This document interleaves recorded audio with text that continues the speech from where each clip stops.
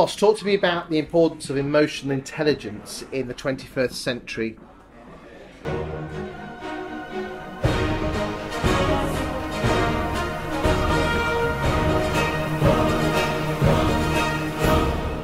Well, it's the most important thing. It's the thing that's not taught in school. It's the thing that I spoke to a teacher and I said, Tell me about the EQ levels. Sorry? Well, if you don't understand what that is and you're a teacher, we've got a lot of problems. Um, the definition of emotional intelligence is the fact that you're able to listen to the other person, even if you don't agree with them, and add value to the conversation, and to be able to say, right, negativity is okay, criticism is okay, people are entitled to an opinion, but I'm also going to stick with my one as well. I'm going to I'm, I'm going to learn, but I want to say something without being afraid of my own shadow. Why, why do you think females are better at emotional intelligence than males? I mean, that's been proved beyond doubt. Because they're mothers.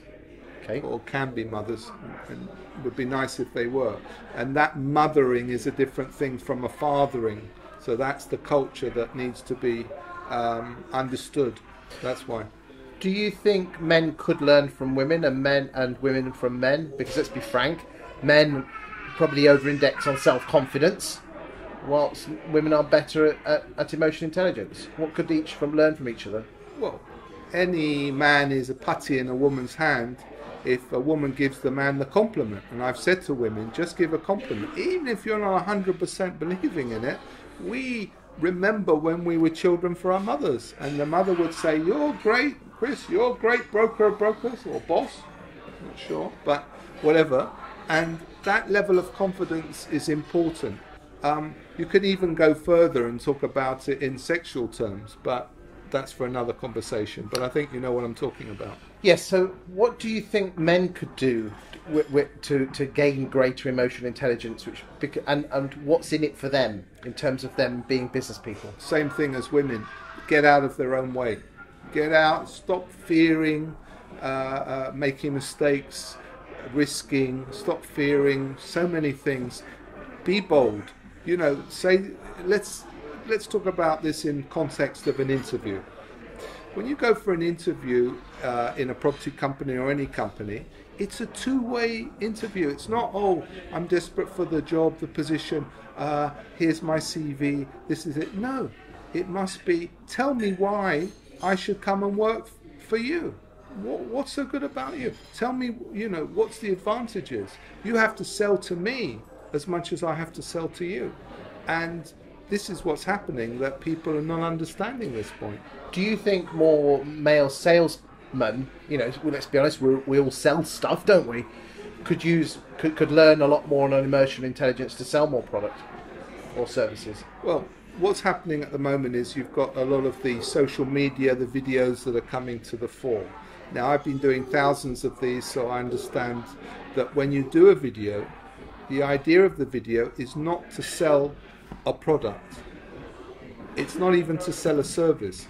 It's to sell the fact that your personality will give the people the trust and confidence that they are dealing with you, and that is the reason that they would want to listen to what you've got to say. So you've almost got to get them to engage with you first. You've got to grab their attention, get them to engage with you, so they trust you before you sell them anything. That's the billion billionaire mindset right there. But but if you to the broker. But if you look at most the state agency models, in fact, most um, um, most people selling services, they try and go from attention to to to get the business from you know straight away. They don't use the engagement and the trust building. Why are people looking for this shortcut in life? because they're told that you've got something approached and there's these sales courses and they talk about the close they talk about all of these things i have been a star salesman uh, negotiator deal maker broker in two industries in the stock market where i was number one and in the property industry same thing they called me king of commercial why was that because i realized that we had to have a relationship and the most important thing with the client was to say to them, right, you have issues. Some people call them problems. I wouldn't even call them that. Let me help you. Let's work together to make this work. And then they trust you because they realize that they're that you're on their side. But how how do you get that trust if you haven't got the business in the first place? It's almost chicken and the egg. You have to believe that in every situation that you approach, your agenda is a good one to make people money. Okay, but but surely you must talk about their agenda and what they want in life, so, so they learn to listen to you in the first place. Well, you have to be good at what you do. So you have to understand, let's say, uh, the square footage. You have to understand where the market's going. You have to be reading the Financial Times every day. You have to be knowledgeable. You have to be interesting and interested. But you have to take them on an experience. This interview, this isn't an interview. This isn't a meeting. This is an experience that we're having between us, right or wrong. It certainly is. I, I'm here because I just wanted to have a ch- chat with you. We've, we've known each other for a few years, and I thought it would be absolutely fascinating for, for, for my readership and, and people that watch my videos to see a different aspect of, of a different person. Um, you, you know, let's be frank. You're very marmite. Some people are going to love you. Some people are going to hate you. But th- who ca- you don't give a monkey's either way, do you? No, I don't give a damn. I might just take the hat off so you get another look, but that's about as far as it goes. You know. I mean, why do you dress up in the hat and the, and the glasses and, the, and because the brand logo, as you can see, is there. I own the trademark for there. It's on there. It's on the business cards, and this is what we're talking about branding. I believe that everyone should self-brand themselves. Whoever you are out there, self-brand yourself. And if you're a company, embrace the idea.